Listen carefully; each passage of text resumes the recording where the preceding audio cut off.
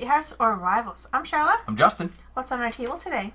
Today we have The Village Village with Village Inn, and Village Port. Village Port. Oops. Village is a game. It's published by Tasty Minstrel Games. Yep. It plays two to four players. Can take you about 60 to 90 minutes, and the recommended ages is 12 and up. Uh, and when you add the Village Inn, uh, there are expanded pieces so you can have um, up to five players. Nice. Yeah. All right, so uh, this is just going to be an impressions video of what we feel the port adds to the game. Uh, if you want to know our review on the Village and the Inn, um, we actually already have a video of that that you can check out. And what I'll do is I'll put one of those little eye thingies up here that will connect to those original videos. Awesome. Yeah, cool.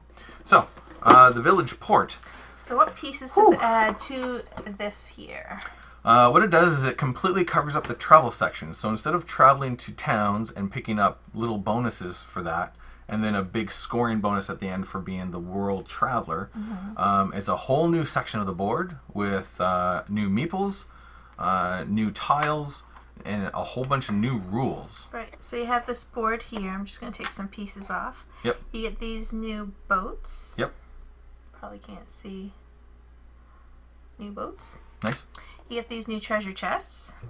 Which we didn't actually get any of those in the No. game. I was going to, but you ended the game. You get some tea leaves and some cocoa. Oh, there's another boat. Nice. There. So you travel around here and you can drop people off or you can pick the things up. And then it adds some new places to sell in the regular market. So you can sell some cocoa or some tea leaves here. And that's kind of cool because these are always available. They're not tiles. And when you sell like your cocoa and your tea leaves, you're getting a lot of points. Yeah. And it even some money. Cocoa seven and the tea leaves is five and a dollar. So that's impressive. It's it makes it worthwhile to go out and get those things and bring them back because there's one point right at the end of the game where you sold both of those Mm-hmm. and I couldn't sell anything and you got a lot of points. Thank goodness. I was imp- like I was I was really worried I wasn't going to win at that It point. was by 12 points. One, Yeah. two, three, four, five. Whoop. One, two, three, four, five, six, seven, eight, nine. Oh. Well, see, I would have been almost 24 points behind you if I didn't do that. Yeah, that was a lot of points.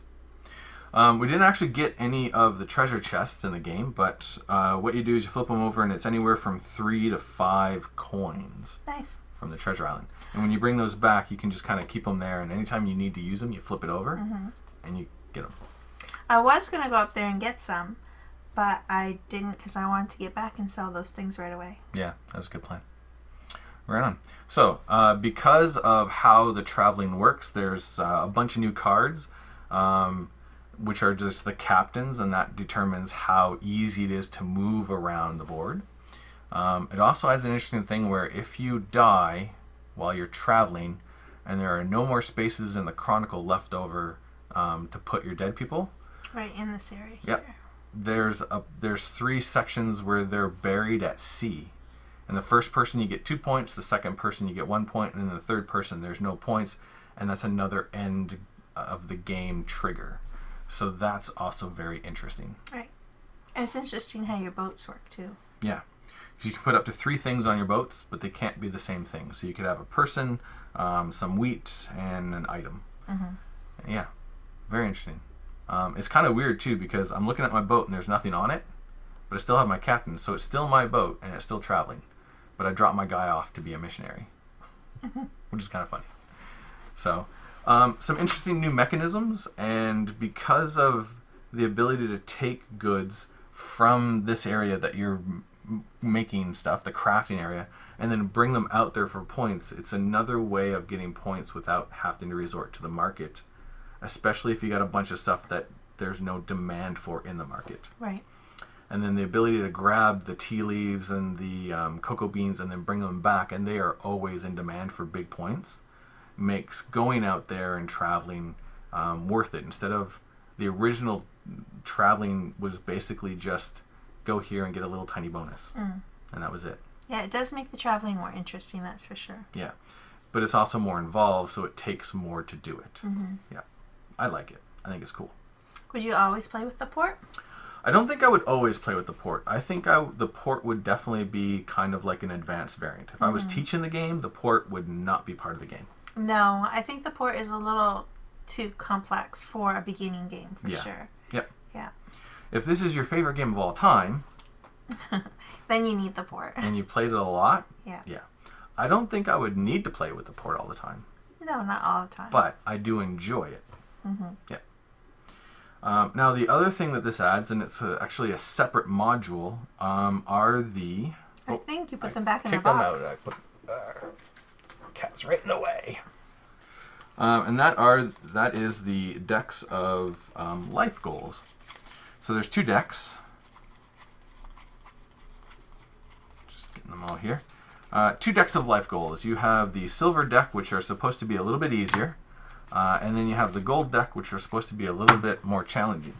And there's not a lot of choice with this. If you use this module at the beginning of the game, everyone gets one silver and one gold, and it's just random, but it's part of setup. This I would play with every single time, including if I was teaching this to somebody for Yeah. the first time. And the reason for that is sometimes when I'm teaching Village to new players, um, the one complaint that seems to happen the most is just they seem to be a little overwhelmed with what they should be doing. So with this, you don't have to worry about that. This is the first thing you should be trying to do. Yeah. And if there are any cards in here specific to the port, you could just remove them. Yep. Yeah. I think here, missionary, Yeah. you'd have to remove that one. Yep. But And uh, the booklet for the port is really nice. It, it has like three separate sections. So if you're going to play with everything, there's a section for that. If you're going to play without the um, the in, there's a section for that. And if you're just going to add these without playing with the port, there's a section for that. nice. So it's it breaks it up in nice, easy kind of what version do I want to play, and it's right there. That's a nice extra step that they did with the rulebook for sure. Yeah. Because that probably uh, doesn't often happen. No, usually in a rule book, it's like, okay, to set up, here's the setup for this, for this, for this, and you got to kind of look in between the lines and figure out which setup you're going to do for this whole separate sections. It. Nice. Very nice. But yeah, because of these life goals are giving you a direct purpose to start off with, one short term and one kind of end game long term. Um, it's just that focus right at the beginning of the game. And then once you've completed your life goal, you can see what you have left over because it doesn't actually cost you any of those things. You just have to possess them. And then you can use those to just jump off for a new strategy right from there. So these I would definitely play with um, all the time, and especially for new players, it gives them that focus. Yeah. Um, you could even, if you wanted to, do a little variant where you could pass them out a couple and they could choose them if they're not beginning players. Mm-hmm. But it would depend on how many people you're playing with because there's about eight of them here. So Yeah. So that would be difficult, mm-hmm. especially if you're gonna take some a of them out. five player game. Yeah. Yeah. Yeah. Yeah. So that might not work. Mm-hmm. That's okay. But in a two player game, it wouldn't be an issue. True. So that is everything that the Village Port adds to the game. Um, I think the only other thing that would be really great is I would almost love to have a board with everything inn it instead of the pieces. So if I wanted to play a game of the village with everything in it, I would just take one board out and unfold it. It would be there. That would be nice. But you would almost need four different boards Yeah, that would be kind of a pain. because there would be the original, Yep. and then there would be with the inn. Yep. with the in and the port, Yep. and with the port. And then there would be the original with five players because the original was only four player game. Right. So yeah, they're not going to do that. No, that's a lot of extra. It's Yeah. really clever though how they've fixed up the board yeah. to adjust it for all the different things you can add to it. Yeah, all the little extra pieces do fit well on the board without being in the way to be knocked around. Mhm. So that's actually really nice. I can appreciate that. So that's the village with the port. It is. It's awesome. I like it. I might have to say that uh, I prefer the inn over the port. Yes, I, I would definitely agree with that. the The mechanism of the inn with the visitor cards Mm-hmm. brought a whole lot more to the game than I find the port does.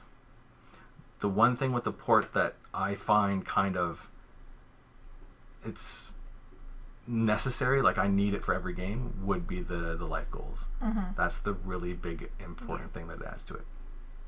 That is all neat, but not necessary. Yeah, cool. Yeah. Well, that's the port. That it is. Thanks for watching. Thanks a lot. We'll see you in the next video. Bye bye.